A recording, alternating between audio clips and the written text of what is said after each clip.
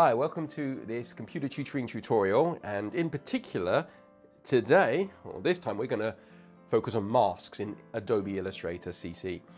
Now you can use masks for various different reasons. In fact, I should have a mask on my face here. So just imagine I was wearing a mask. I looked all over the place um, to find a mask, but I couldn't find one. So you imagine the mask area is the area I can't see, and then the eye holes, this one here, yeah, that's the area you can see. So you can see through my eyes. That's the area that's unmasked. So what do I mean by this? Well, if you look on the screen here, I've got a picture, lovely desert here. Now, what I want to do is I want to create a mask over that picture just to show a little bit through there. So what I'm going to do is I'm going to drag the picture down to the bottom of my page like that. I'm just going to resize it, make sure I hold down the shift key while I do that. That's fantastic. Okay.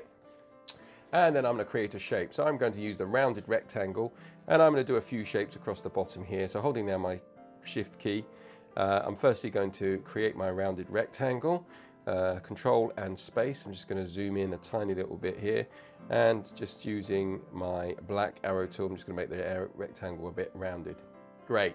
So I will eventually do multiple shapes. What I want to do is I want to start off with a single shape for this mask.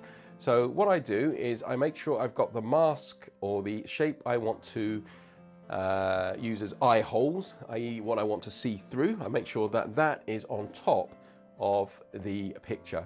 So if the picture's below, then that's great. If it's above, it's not going to work. So say, for instance, if I hold down Control and press the right square bracket, you see the picture's above.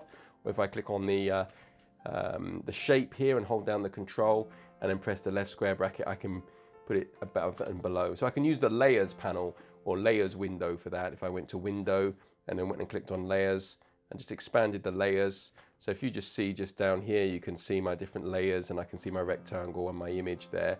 I can just rearrange my layers if I want to.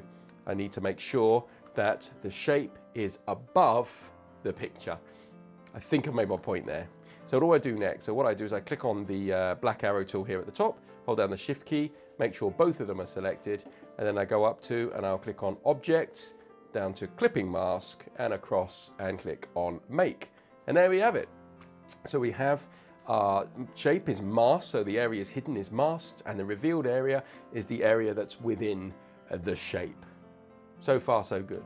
So just while we're in this, I'm just to show you a couple of things that you can do here. So if I'm double click using the black arrow, you notice at the top here, it says that I am in a clipping group here. So what does that mean? Well, that means that basically that the clipped object and the picture is together in the group. So what I can do here is I can click on the picture and I can see the outline of the picture just here. I can click and arrange the picture, you can see here. So I, I can show various parts of the picture. There's a little blip there, I'm not sure what that is, but I can show that there. Okay, if I go back to the main layer, then I can move this around. It all moves as one object. That's great. So what about the next stage? So I'm just going to undo a few times. I'm going to hold down Control and Z and just tap back and back and back and back and back and back and back and back. There we go. Uh, just bring the thing forward. Now say for instance I have multiple shapes, okay, on this image and I want to then mask it, i.e. I just want to see the desert through little squares. So what do I mean by that? So say for instance I do a duplicate of this, I'm going to hold down the Alt key on the keyboard and drag to create first copy and another. Okay, I'm just going to hold down the space bar and then just bring it across to give me some more room. Just going to make some more duplicates here. Do I have room for one more at the end? No, I don't. So what I'm just going to do is just zoom back a little bit, holding down Alt and using the wheel on my mouse. Quite a handy little tip. What is going on here? So next thing I'm going to do is I'm going to hold down the shift key and make sure all of these are selected and just move them roughly into position here at the bottom. Uh, you know what I'm going to do is I'm just going to drag this one just to the left and this one to the right because I want to make it up just to the edges here. That's fine. That's good. And then I hold down the shift key, make sure they're all selected. I can then go to my align window. So here's my align window here. And I can use this to align the object. So I'm going to use this button just here. So it's going to align my object, so that's quite good. Ah, here's an interesting mistake. I was training somebody this just today who had this mistake, and I've done the same. Where it says align to, it's aligning to artboard. I want it to align to selection. So what I'm going to do is I'm going to choose align to selection. I'm going to drag this all down here again. And now it says align to selection. I'm going to click on the align and it's all aligned with each other. And I want it to be distributed as well. So I'm going to click on align or the horizontal distribute center just here and you can see it's all distributed. That's great. I want to make sure now that these shapes are right in the middle of my artboard here. So what I'm going to do is I'm going to group them together. And now is a good opportunity to align to artboard and I can align them centrally so I know that these shapes are in the middle. Great, fantastic. So what I'm going to do is I'm going to ungroup them. That's good. There's no need for the align panel, so get rid of that.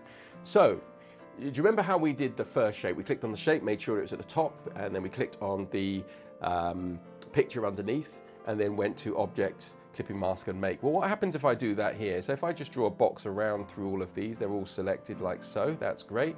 And then I'm going to try Object, Clipping Mask, Make. Uh, well, hang on a second, what's going on here?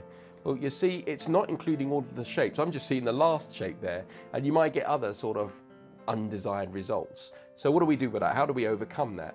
Well, let's just undo, Control Z to undo. What we need to do first is to make all of these shapes here a compound path. So in that way, Illustrator will think that it's one shape and not five separate shapes. So what I do is I select all of the shapes one by one. I will then go to Object, go down to Compound Path and Make. So that's Object, Compound Path and Make. So now I can hold down the shift key and click on the background just there. And let's try it again with a clipping mask. I can go to object, clipping mask, make. And there we go. It's going through all of them. So last thing we're going to do is going to look some text here. So let's say I want to put some text on the top. So I'm just going to go to file and place and I'm going to place some more, here we go, a rainy outdoors picture. So let's see if I can just place this one here and I want to put some text on. So what I can do is I can take the T tool, just click to start typing, type in some text, exclamation mark. Well, that looks quite small, so I'm just going to highlight that. And I'm going to use uh, font size to make that a lot bigger. And to really emphasize the point, I think I need to change the font here. So I'm going to change the font to an Arial. Uh, if I click at the top and then type in Arial, and there we go, Arial Black's the one I'm wanting there. Um, in fact, if I go down to the character, I'm just going to bring it in together by just bringing some kerning in here. Just uh, let's have a look here. And if we just go back to this one here, click on character. The characters window doesn't appear, like mine doesn't seem to want to. I'm just going to go down to, and I'm going to go to type, just at the bottom here. And then I'm going to go to character. Here's the character window, and I'm just going to change the tracking rather, just to bring the text in together a little bit here. Okay, so there we go. So I'm just going to bring that there. So all I do with this is I just hold down the shift key and I select the picture behind, object, clipping mask, make. And then you see I've got masked text. So if I want to then add or to delete text, I just uh, click on my text tool. And then what I can do is I can go back and I can change some text here. So I can click on my T for my text, go to edit my text, and then add more text if I need to here. So uh, I've got text here. Let me just see if I can add some text and just type in more. And you can see it's still masked. If I close down my uh, character here uh, and say, for instance, I need to make the picture bigger. If I double click on the picture, I can see that. If I double click again, uh, and I just click on the border of the picture here, there we go. I can hold down the shift key, make the picture bigger, and you see the text it reveals. So this box around the outside is the size of the picture. Okay, so you notice that here at the top, if I click on the arrows to go back, and then we've got some more text, I can just pop that here. And you can get some different effects there with the text. For instance, if I click on the text here, and I go to Effects, Stylize, Drop Shadow, Set a Preview, I can put some preview, drop shadow, etc. on this text here. Looks so wonderful, doesn't it? And muck around with it and make it looking good. So I hope this has helped. Um, please see um, more videos and more tutorials that's available in the Illustrator series. And thank you so much for watching.